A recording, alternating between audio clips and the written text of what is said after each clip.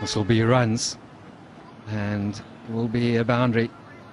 Right now, Pakistan will take them anyhow. Bowler touch unlucky there. Well, it's lucky, very lucky indeed.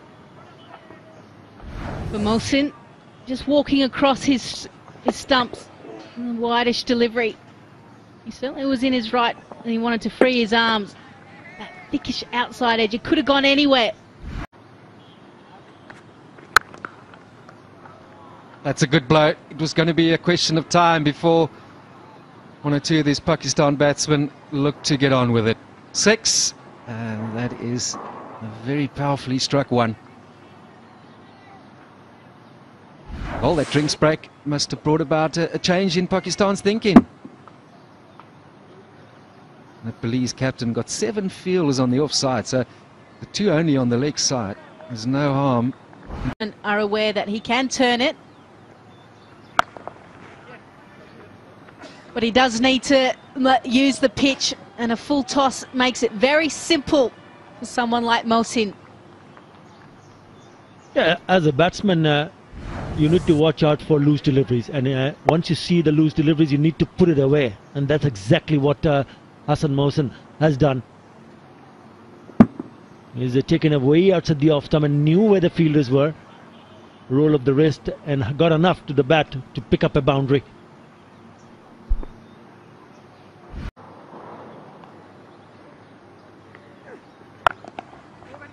Swept away again. And he's found the gap. Not only has he found the gap, he's hit it with so much power. And in front of the square, most occasion when you see a batsman play a sweep shot, it will go behind square. Look at that shot. You talk about the power. What, about the placement? Excellent placement uh, from uh, Mohsin. Gets on top of it. Nice roll of the wrist and a really good shot. Uh. Side screens to cleaning boots to making tea. Wide and driven. Driven exceptionally well. Talk about Nepal and, and, the fact they can't allow just to give away freebies. This is a freebie from uh, Tamang. A little bit of flight, but really could have put that anywhere. Poor delivery. No man out on the uh, offside. All three.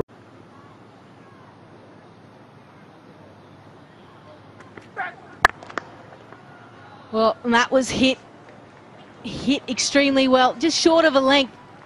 But Mohsin went back deep into his crease. Almost played like a baseball shot. Yeah, Kusal Bertel back into the attack, and I think now Pakistan believe this is the opportunity. Pace on the ball, perhaps not as much in the wicket now. The ball a little bit older, and, and now's the time to really capitalise and build this partnership and, and put Nepal under pressure. I think that's eating.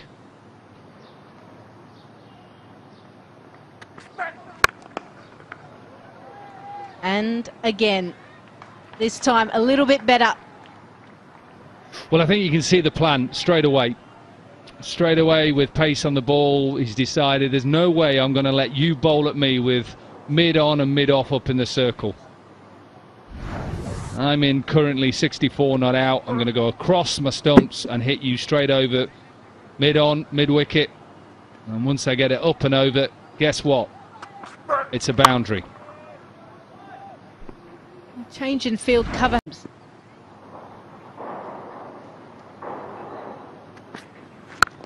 That's a big blow.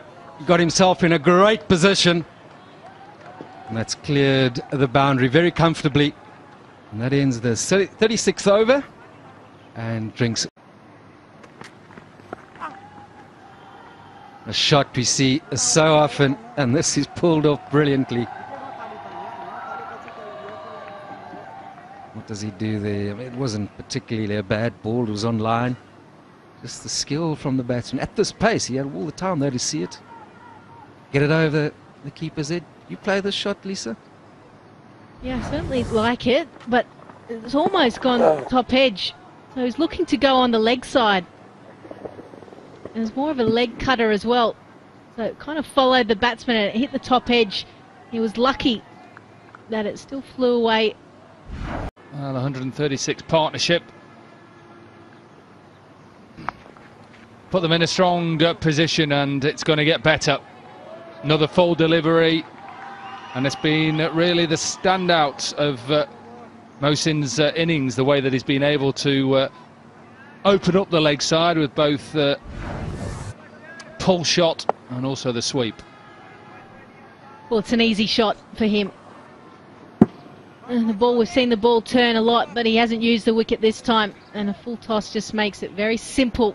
And no fielder out. This one will go all the way, all the way for six. Pakistan in control.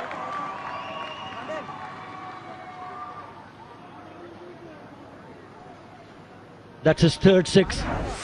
Didn't miss uh, this time around. Down on one knee.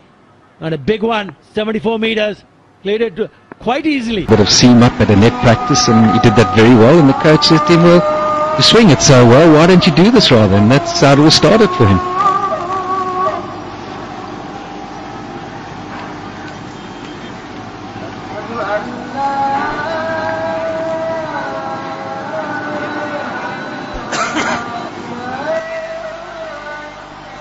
They spotted early on uh, enough. One of the coaches must have thought that. Uh, that's beautifully ball. Has he nicked it? Yes, he has. I was speaking about uh, the kind of movement he had extract, especially with the white new ball, and he bowls a beauty. Picks up the first wicket. This is some good bowling. He's just got that length right. The ball has swung. He's asked the batsman to have a drive, and look, that's all it needs to do. Just that little bit. The length being the big factor here. Just lulling the batsman into.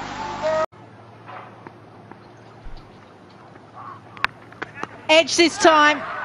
And no mistake. There seems to be a plan, bowling full and wide. And Mohsin keeps shaping the ball. His day gets better, doesn't it? 117 from uh, 106 deliveries. His second wicket now. Swing uh, has been there, not as much pace as Learcat. Full and wide, and this carries because he flays at it, doesn't he? Would have been uh, a wide. Karki with a green shot. Simple catch as well. Goes for five. Uh, Nepal in trouble. 23 for three.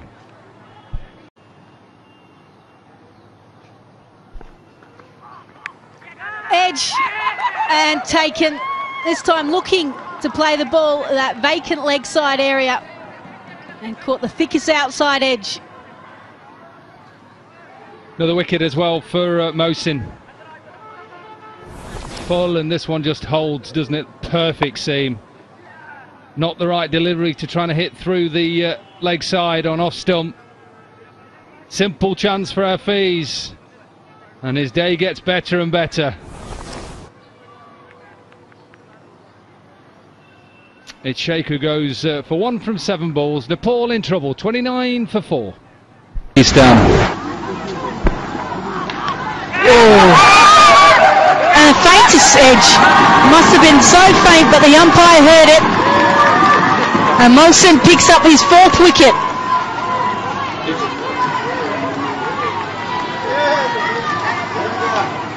Make that all five wickets to full deliveries.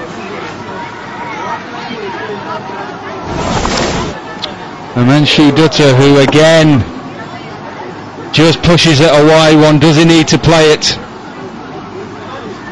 Halfway to home for Pakistan. Four for 11 or five overs for uh, Mohsin. Put hundred in with that. He goes without scoring. Nepal